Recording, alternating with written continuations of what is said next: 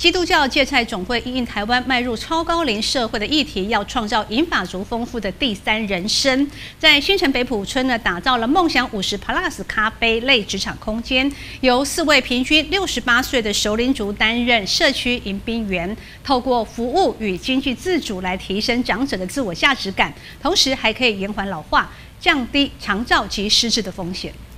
台湾迈入超高龄社会，银发族的健康生活营造是现阶段重要课题。基督教芥菜总会在新城乡北埔村打造梦想五十 Plus 咖啡类职场空间，协助社区长辈学习技能，透过服务创造经济自主，也提升长者自我价值感。呃，六十五岁以上的长者，其实他们还有很多的一个呃功能性，身体也很好，然后呃，其实还有很多的社会性功能。那我们就希望说，呃，可以建立一个类职场的概念，然后让这些长者可以有一个就业机会。那其实呃，姐姐们透过呃这样子的一个职场，他们去接触以前呃未曾接触过的呃工作内容，那他们也因为有这样子的一个工作机会，拓展了他们的社交活动。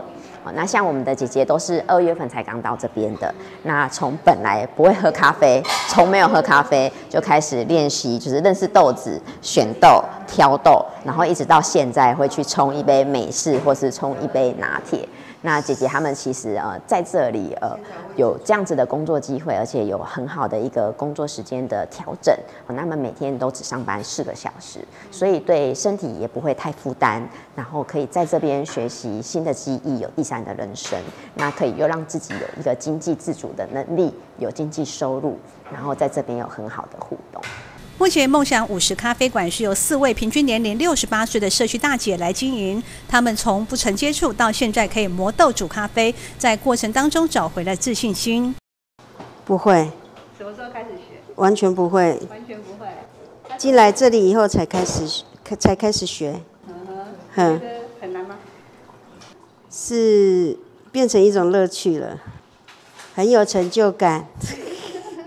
梦想五十 Plus 咖啡位在芥菜总会花莲洗衣所，就在北浦路上。八月份正式营运，欢迎大家来品尝大姐们手冲的香醇咖啡，也邀请大家用行动来支持芥菜总会为长者重回职场创造机会的助人服务。